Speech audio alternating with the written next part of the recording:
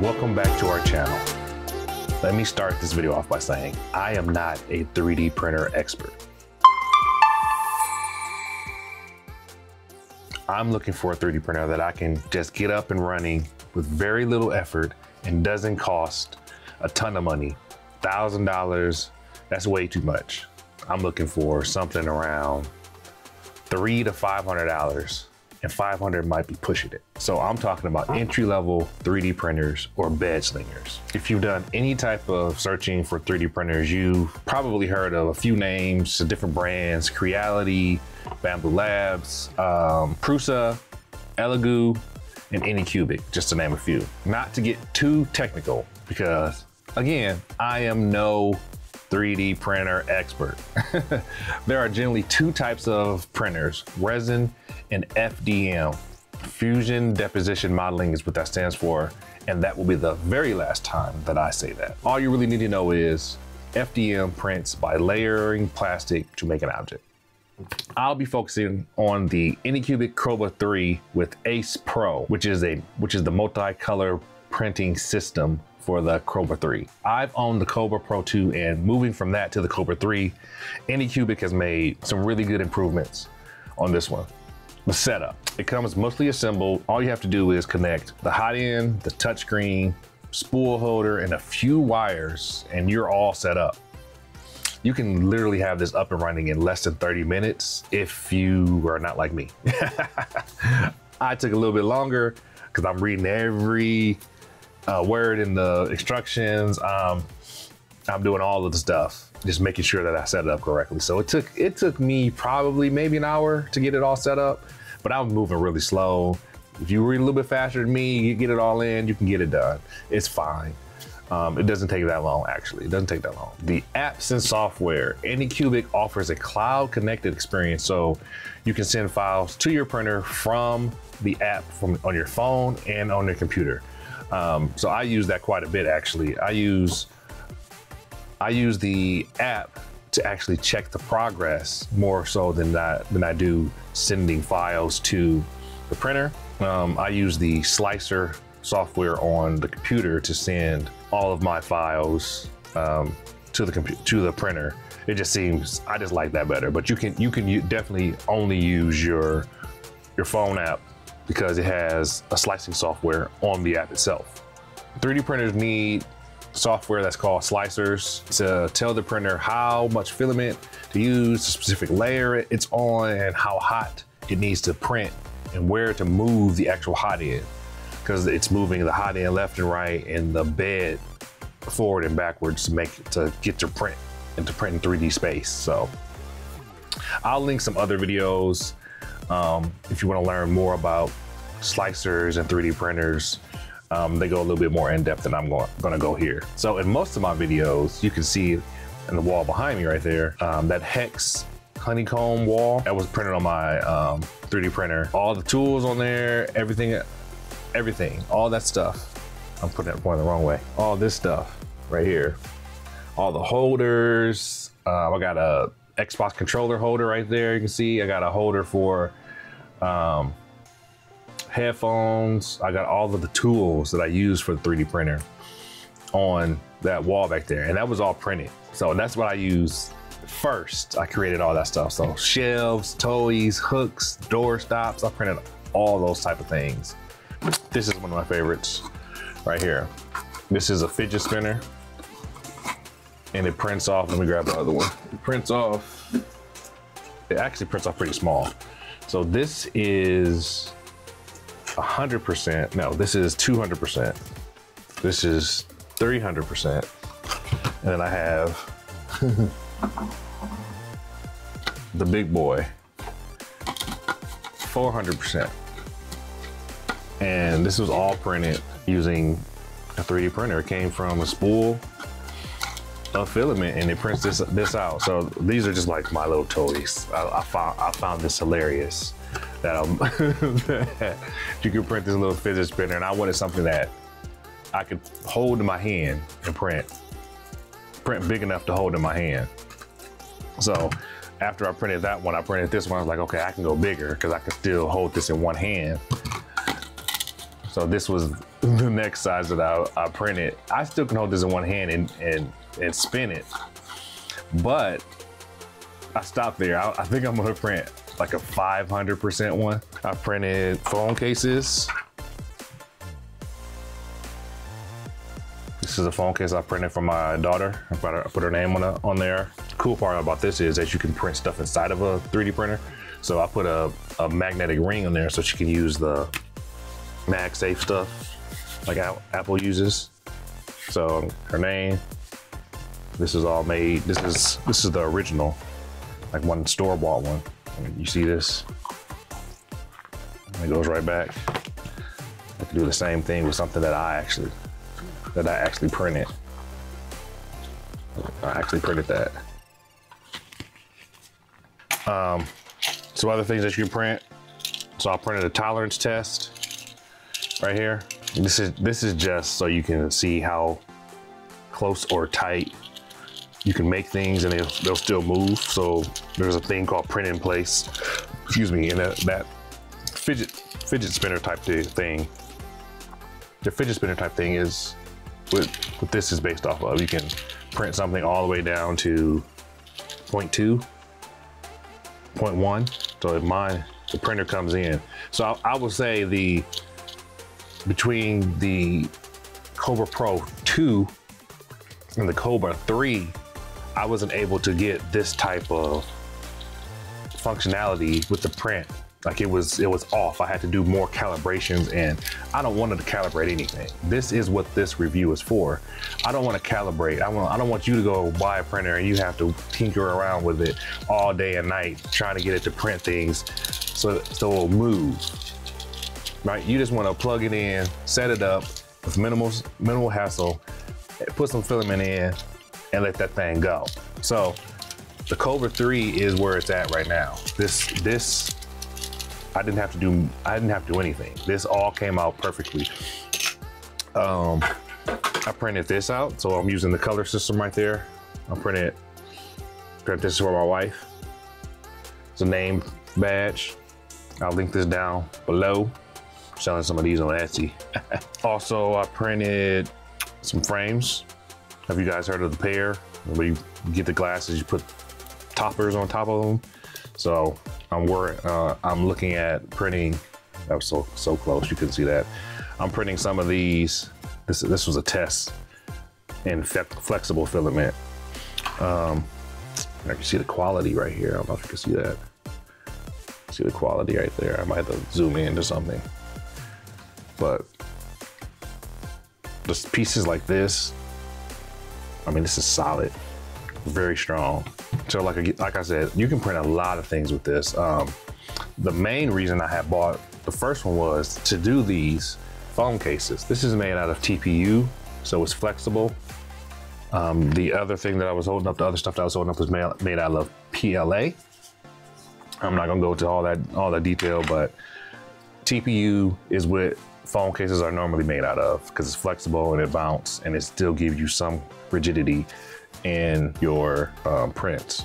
So I made phone cases for my wife, my my son, and my daughter.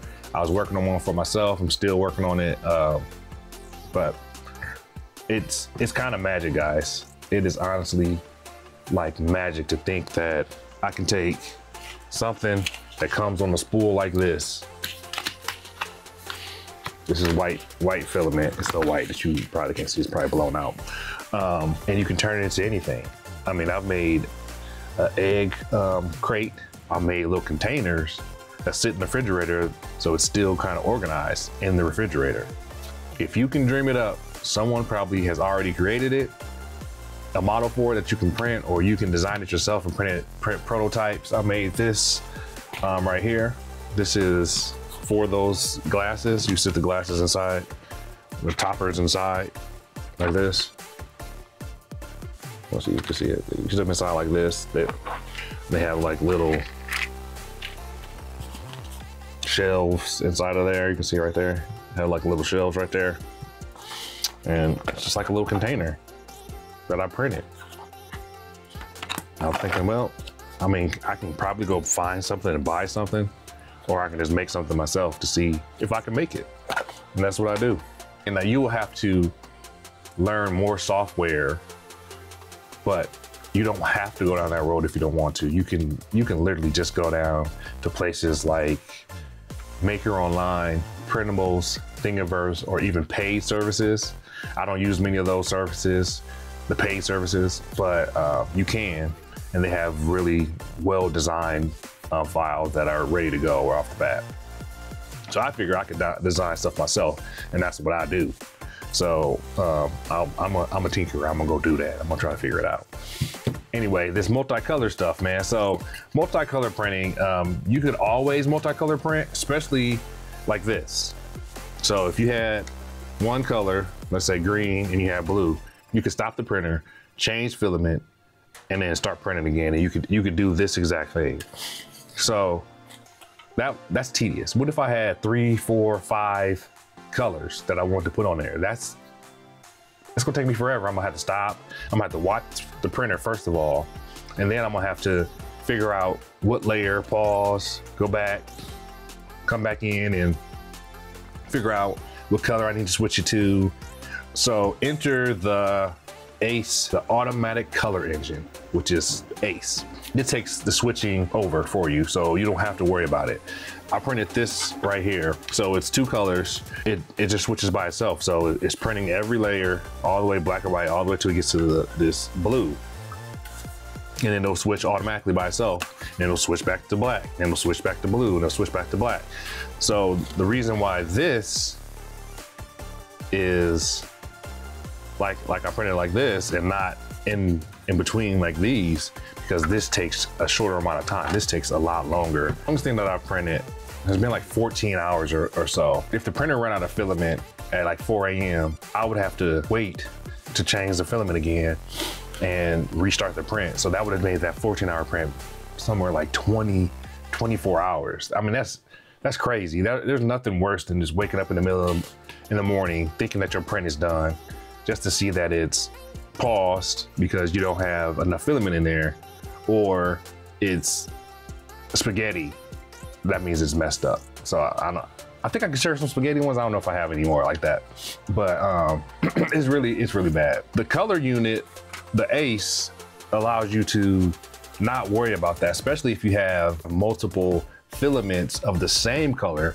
So you don't have to worry about if I had like a 24 hour print, if I load all of the spool holders up with the same filament, I could print continuously until all those spools run out. So 24 hours plus, I could run and make that print continue without any intervention on my part. I normally don't print that many colors, so I print in the this level level with different colors, but I usually don't print intricate stuff like this. I was doing it to test.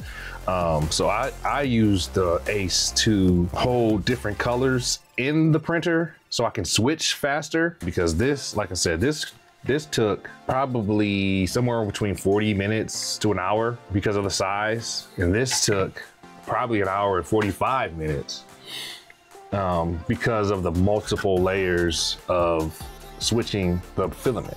This one comes out when it switches. It has to purge the filament to continue printing or switching color. How long does it take to print anything? It, that depends on a few different factors. Let's just stick with PLA and then high speed PLA at that. Um, the nameplates, like I said, it takes about about an hour, a little bit less to print these in two colors. Let me tell you, this is not a fast process. So don't get it twisted. This is not fast at all, but it is satisfying once it's complete. So, I mean, you can you can print small things in 15 minutes, 10 minutes, um, maybe two or three minutes maybe maybe maybe four minutes for this because it has to warm up. The printer has to warm up, has to do all, all its things. But it is satisfying to see some, something that you create in real life, 3D. So be aware. if you buy one, it's not going to be plug it in and I got something five seconds after I plug it in. That's not how it goes. It's just not how, where we are. But they are faster. So I think four or 500 millimeters per second. That means nothing to you guys, I, I know, but That just means it prints fast. It prints really, really fast. But with speed comes inconsistencies and greater margin of error with speed. So slow is better actually. And the slower you go, the more time it has for it to lay it down correctly. And it's just, it just, it's just better to go slow when you print. Um, but I'm pushing it as far as fast as I can. Sometimes I go into sport mode. There's a there's a couple different modes. You can go to slow, um, regular, and sport. And if I'm doing straight line, squares, and everything, maybe even circles, we gonna let that first layer go down, and we gonna go to sport. It's gonna fly. It's gonna cut. I don't know, maybe 30 minutes off, 15, 30 minutes off the printing time. Um, but again, you'll have to test that. If you get one, you have to test it. Should, should you get one? Me? Yes. Get one. If you got the money, get it. Why not? You don't spend that on hamburgers and hot dogs, and you ain't gonna do nothing. You ain't gonna get nothing. You know, get you a drink. That's probably one month of going out to eat. Honestly, you spend 20 $30 every time you go out. That's 10 meals, right? So 10 meals, $200, $300, you can do it. I say do it. If you like to tinker, if you want to explore, you want to be creative, this is the way to do it. You could bring almost anything you think of to life with 3D printer. You can even use services like Fiverr or somebody to a 3D model designer and print what you need on your 3D printer. It's, it's amazing. It, it, it is amazing. I thoroughly enjoyed this purchase.